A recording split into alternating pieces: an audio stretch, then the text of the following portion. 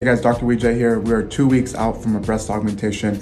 We always talk about how the implants are high right here. And so this is totally, totally normal. As the muscle and implants settle into position, the breast will blossom. This breast will actually get bigger as the constriction of the skin loosens up. So we're doing breast massaging. We'll show you what it looks like in six weeks or two months. We're very excited for her results.